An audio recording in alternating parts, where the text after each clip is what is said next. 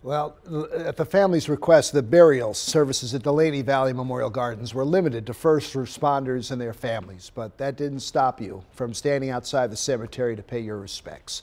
WMAR 2 News' Jeff Hager has more on that story. So many firefighter and police vehicles trying to squeeze into Dulaney Valley Memorial Gardens to honor the three firefighters who lost their lives, but only so much space. Joe and Melissa Falbo brought their eight year old daughter Victoria out here to witness the procession. For her to see something this significant that is not, you know, typical, where you're going to see the amount of respect that gets paid not just by their fellow brothers and sisters, but by civilians, it's something she's going to remember for the rest of her life. Now etched in our memories, the ultimate price paid by Lieutenant Paul Butrim, Lieutenant Kelsey Sadler, and firefighter paramedic Kenny Lacayo.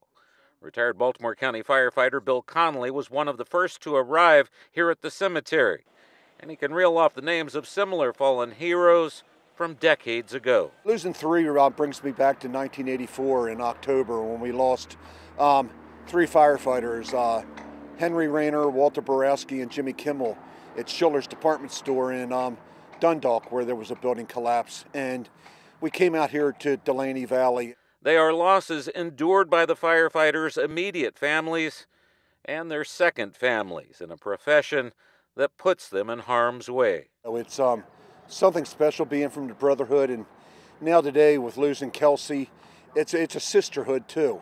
Um, brothers and sisters um, working together, we're a family. Um, we spend probably three quarters of our lives in a fire station, and we're with each other in a firehouse more than with our own um, loved ones at home. Those colleagues and those men and women that they worked with will always be there for their families. We're told that the three firefighters are going to be laid to rest side by side in front of the Fallen Heroes Memorial. This now brings the number to 77 first responders and correctional officers who have been laid to rest in that special section. Reporting at Dulaney Valley Memorial Gardens, Jeff Hager, WMAR 2 News.